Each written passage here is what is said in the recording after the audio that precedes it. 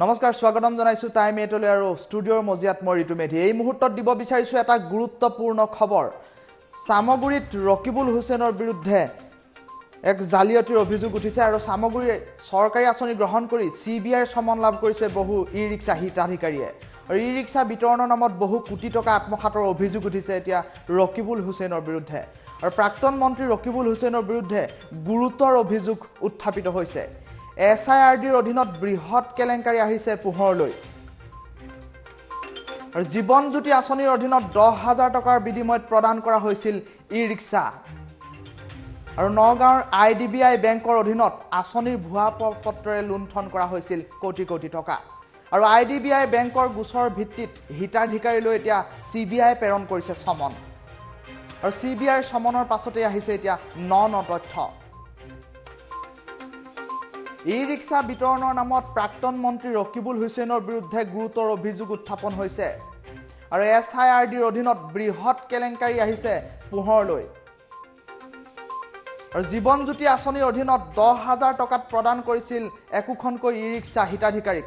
আৰু I D B I বেংকৰ অধীনত আঁচনিৰ ভুৱা প্ৰমাণ পত্ৰৰে দিয়া হৈছিল লোন আৰু আই ডি বি আই বেংকৰ গোচৰত এতিয়া চমন আহিছে হিতাধিকাৰীলৈ। আৰু চামগুৰিত চৰকাৰী আঁচনি গ্ৰহণ কৰি চি বি আইৰ চমনৰ মুখামুখি হ'ব লগা হৈছে বহু দৰিদ্ৰ ই ৰিক্সাৰ হিতাধিকাৰীয়ে। আৰু প্ৰাক্তন মন্ত্ৰী ৰকিবুল হুছেইনৰ বিৰুদ্ধে অভিযোগ উত্থাপিত হৈছে। আৰু এছ আৰ আই ডিৰ অধীনত প্ৰদান কৰা হৈছিল লোন আৰু চামগুৰি আঁচনি চামগুৰিত চৰকাৰী আঁচনি গ্ৰহণ কৰি চি বি আইৰ চমনৰ সন্মুখীন হ'বলগীয়া হৈছে এতিয়া বহু দৰিদ্ৰ হিতাধিকাৰী।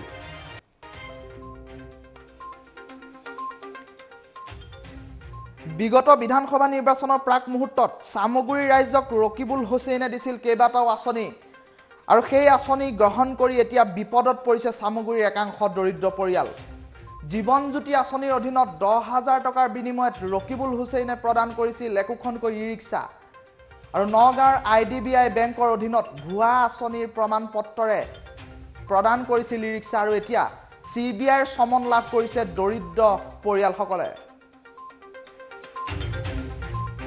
আৰু চামগুৰিত চৰকাৰী আঁচনি গ্ৰহণ কৰি চি বি আইৰ চমনৰ মুখামুখি হ'ব লগা হৈছে বহুকেইটা হিতাধিকাৰী পৰিয়াল।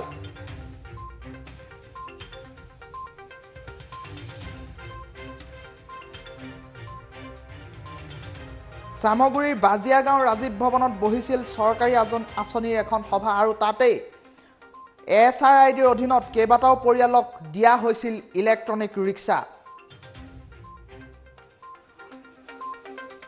আৰু মাত্ৰ দহ হাজাৰ টকাৰ বিনিময়ত বহু পৰিয়ালে লাভ কৰিছিল ৰিক্সা। আৰু এতিয়া নিৰ্বাচনত জিকিবলৈ ভুৱা আঁচনিৰ প্ৰস্তুত কৰা বুলি অভিযোগ উত্থাপন হৈছে ৰকিবুল হুছেইনৰ বিৰুদ্ধে। আৰু ৰকিবুল হুছেইনৰ সেই আঁচনি গ্ৰহণ কৰি এতিয়া বিপদত পৰিছে বহুকেইটা দৰিদ্ৰ পৰিয়াল। আৰু দৰিদ্ৰ পৰিয়ালকেইটালৈ আহিছে এতিয়া কেন্দ্ৰীয় অনুসন্ধানকাৰী সংস্থাৰ চমন আৰু ই ৰিক্সা প্ৰদান কৰাৰ সময়ত কংগ্ৰেছী দালালসকলে কৈছিল এয়া অনুদানহে। এনেধৰণৰ অভিযোগো উত্থাপিত হৈছে এতিয়া চামগুৰিত।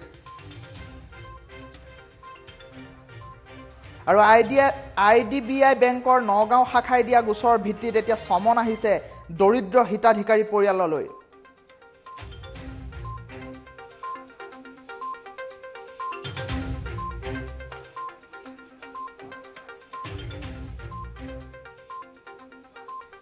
আৰু এই মুহূৰ্তত অধিক তথ্যৰ বাবে আমাৰ লগত সংযুক্ত হৈছে চামগুৰিৰ আমাৰ সাংবাদিক বেটছমেন আৰু বাটছামৰ ওচৰলৈ আমি পোনে পোনে যাব বিচাৰিছোঁ। বাটছাম সম্পূৰ্ণ তথ্য আপুনি জনাওক। হয়। হয় হয়। কংগ্ৰেছ চৰকাৰৰ কংগ্ৰেছ চৰকাৰৰ কংগ্ৰেছ চৰকাৰৰ আপোনাৰ চৰকাৰৰ দিনত বৃহৎ দুৰ্নীতি হৈছিল চামগুৰি সমষ্টিত। আপোনাৰ বৰ্তমান চামগুৰি সমষ্টিত চামগুৰি সমষ্টিত দুৰ্নীতিৰ পোহৰলৈ আহিছে। এক চি বি আইৰ পৰা অহা এক আহ, আমি পোনপটীয়াকৈ জানিবলৈ বিচাৰিম চামগুৰিত মোৰ লগত উপস্থিত আছে সচেতন সচেতন যুৱক এজন। যুৱকৰ পৰা পোনপটীয়াকৈ জানিবলৈ বিচাৰিম। হয় ক'ব গ'লে নামটো মহম্মদ ৰকিবুল হুছেইন হ'ব নালাগিছিল হ'ব লাগিছিল কেলেংকাৰী ৰকিবুল হুছেইন আৰু আজি আমি গম পাই সঁচাকৈ বহুত সুখী হৈছোঁ যে এনেকুৱা যদি কেলেংকাৰী বিধায়ক চামগুৰি সমষ্টিৰ বিধায়কক চি বি আই তদন্ত কৰিছে। আৰু আমি দেখিছিলোঁ যে যোৱা সময়ছোৱাত যেতিয়া চৈধ্য চনৰ ইলেকশ্যনত যেতিয়া প্ৰভাৱ পৰিছিল নৰেন্দ্ৰ মোদী ডাঙৰীয়া প্ৰভাৱ পৰিছিল তেতিয়া ৰকিবুল হুছেইনে বহুত বহুত কূটনীতি প্ৰকাৰে ভোটাধিকাৰক আকৰ্ষণ কৰিবলৈ বহুত ৰণকৌশল তেখেতে হাতত লৈছিলে। তাৰ প্ৰথমটো আছিল আঁচনি আছিলে আপোনাৰ আঠুৱা কম্বল তাৰ দ্বিতীয়তে আছিলে আপোনালোকৰ এই ই ৰিক্সা। আৰু আমি গম পাইছো আজি চাৰি পাঁচ দিনৰ ভিতৰত আমাৰ আমাৰ বাজিয়া ব্লকৰ হওক লাওখোৱা ব্লকতে হওক এই ব্লকৰ ভিডিঅ'লৈ এছ আই ডিৰ ফালৰ পৰা আৰু চি বি আইৰ ফালৰ পৰা কিছুমান চি এম ভিজিলেন্সৰ ফালৰ পৰা কিছুমান ওপৰ মহলৰ মানুহ আহিছিলে সেই মানুহখিনিয়ে সম্পূৰ্ণ চি বি আই তদন্ত লৈ পেলাই আহিছিলে। আৰু আমি গম পোৱা মতে চামগুৰি চামগুৰিত বহুত কেইজন লোকৰ হাতত এতিয়া ঘৰৰ পিছফালে বহুত ই ৰিক্সা সোমাই আছে। মই নাম নকওঁ মই নাম নকওঁ নাম নকওঁ মই। কিন্তু যদি চি বি আই ভালকে তদন্ত কৰে আৰু যদি আমাৰ আমাৰ চামগুৰি থানাই যদি ভালকে তদন্ত কৰে এই ধৰণ ৰিক্সা তেখেতে ক্ৰয় কৰিবলৈ সক্ষম হ'ব। আৰু এটা মই কথা ক'ব বিচাৰিছো আপোনালোকক থৈ দি ৰকিবুল হুছেইন ডাঙৰীয়াই অকল ই ৰিক্সাতে কেলেংকাৰী খামিবদ্ধ হৈ থকা নাই। তেখেতে সমাজ কল্যাণ বিভাগে হওক আৰু এগ্ৰিকালচাৰ বিভাগে হওক বহুত বিভাগত তেখেতে কেলেংকাৰী লিপ্ত হৈ আছে। আৰু মই আপোনালোকৰ এই নিশ্চয়ৰ জৰিয়তে মই ওপৰ মহলত জনাব বিচাৰিছো যে অতি কম সময়ৰ ভিতৰত এই তদন্তই পোহৰলৈ আনি ৰকিবুল হুছেইন যাতে ৰঙা ঘৰ ভাত দেখুৱাই ধন্যবাদ।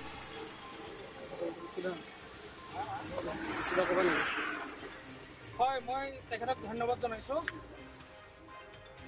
হয় হয় হয় বাচ্ছা আৰু কিমান সংখ্যক লোকে এনেধৰণৰ সমস্যাৰ সন্মুখীন হৈছে আপুনি জনাব পাৰিব নেকি? হয় ধন্যবাদ জনাইছোঁ। এয়া আছিল চামগুৰিৰ পৰা আমাৰ সাংবাদিক বাটচাম হক। আৰু ৰকিবুল হুছেইনৰ কাৰ্যকালত চামগুৰিত সংঘটিত হৈছিল এনেধৰণৰ ঘটনা আৰু আই ডি বি আই বেংকৰ গোচৰৰ ভিত্তিত এতিয়া হিতাধিকাৰী পৰিয়াললৈ আহিছে চি বি আইৰ চমন আৰু চামগুৰিত চৰকাৰী আঁচনি গ্ৰহণ কৰি এতিয়া চি বি আইৰ চমনৰ সন্মুখীন হ'ব লগা হৈছে বহু দৰিদ্ৰ পৰিয়াল। ৰকিবুল হুছেইনৰ বিৰুদ্ধে এতিয়া গুৰুতৰ অভিযোগ উত্থাপিত হৈছে চামগুৰিত। আৰু দৰিদ্ৰ পৰিয়ালে ই ৰিক্সা গ্ৰহণ কৰি চমনৰ সন্মুখীন হ'বলগীয়া হৈছে চি বি আইৰ আৰু কেন্দ্ৰীয় অনুসন্ধানকাৰী সংস্থাৰ কাৰ্যালয়ত নিৰ্ধাৰিত সময়ৰ ভিতৰত উপস্থিত হ'বলৈ চমন জাৰি কৰিছে দৰিদ্ৰ হিতাধিকাৰী পৰিয়ালসকলক। ৰাইজৰ টকাৰে নিৰ্বাচন খেলিলে ৰকিবুলে বুলিও অভিযোগ উত্থাপিত হৈছে এতিয়া চামগুৰিত। আৰু ৰকিবুলৰ ভুৱা আঁচনি গ্ৰহণ কৰি এতিয়া বিপদত পৰিছে চামগুৰিৰ কেইবাটাও পৰিয়াল। বিগত বিধানসভা নিৰ্বাচনৰ প্ৰাক মুহূৰ্তত চামগুৰি ৰাজ্যক ৰকিবুল হুছেইনে দিছিল কেইবাটাও আঁচনি আৰু এছ আৰ আই ডিৰ অধীনত কেইবাটাও পৰিয়ালক দিয়া হৈছিল ইলেক্ট্ৰিক ৰিক্সা। মাত্ৰ দহ হাজাৰ টকাৰ বিনিময়ত বহু পৰিয়ালে লাভ কৰিছিল ইলেক্ট্ৰনিক ৰিক্সা আৰু তাৰ পাছতে এতিয়া আই ডি বি আই বেংকৰ গোচৰৰ ভিত্তিত হিতাধিকাৰী পৰিয়াললৈ আহিছে চি বি আইৰ চমন আৰু প্ৰাক্তন মন্ত্ৰী ৰকিবুল হুছেইনৰ বিৰুদ্ধে উত্থাপিত হৈছে চামগুৰিত গুৰুতৰ অভিযোগ। এছ আৰ আই ডিৰ অধীনত বৃহৎ কেলেংকাৰী পোহৰলৈ আহিছে।